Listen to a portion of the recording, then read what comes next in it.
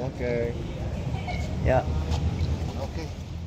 Rahmat dan Rafliansyah, pencuri kabel lampu penerang jalan di Jalan DI Panjaitan, Sungai Pinang, Samarinda ini akhirnya diringkus polisi. Keduanya ditangkap di sebuah pengepul besi tua, Minggu 25 Februari 2024 malam. Bersamanya disita kabel curian, sepeda motor yang digunakan mengangkut, serta peralatan mencuri.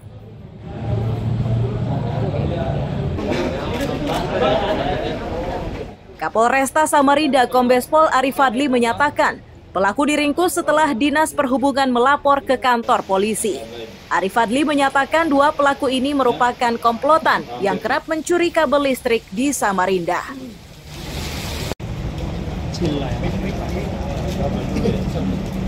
uh, sekitar pukul 9 atau 21.00 tanggal 25 Februari kemarin uh, berhasil kita amankan dua orang pelaku dari komplotan ya. Jadi saya sampaikan ini komplotan karena masih ada beberapa orang yang belum kita amankan. Yang memang uh, modus operandinya atau uh, target operasinya adalah mengambil kabel-kabel yang ada di jalan umum.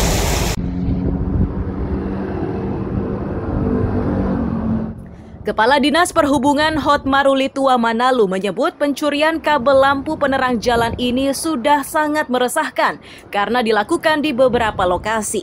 Dampaknya lampu penerang jalan menjadi padam dan itu berpotensi mengundang kejahatan lainnya.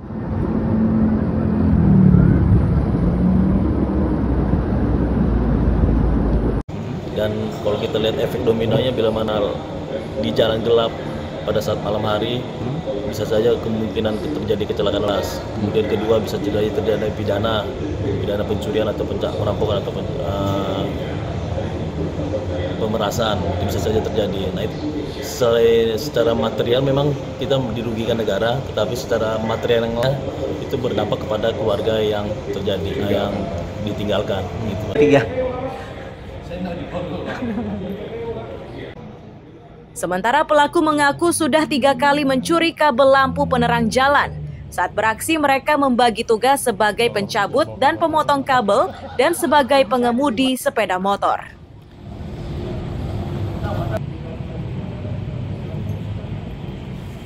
Kalau aku biar bapak Kapolres apa?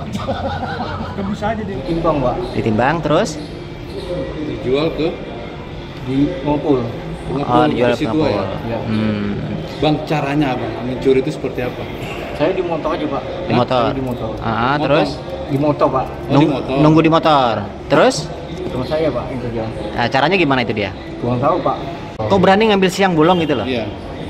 Soalnya sudah di ujung sudah paket pak. Oh sudah dipotong. Iya. Berarti sebelumnya sudah dipotong disiapkan. Enggak, sudah sepotong memang pak. Mm-mm.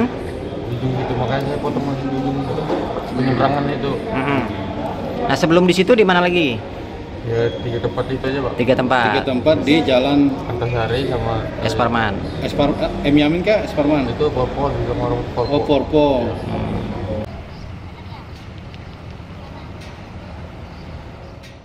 Rahmat dan Rafliansyah kini harus menghadapi ancaman hukuman 7 tahun karena dijerat pasal 363 KUHP tentang pencurian. Polisi juga masih memburu kawanan pelaku. Iswanto melaporkan dari Samarinda.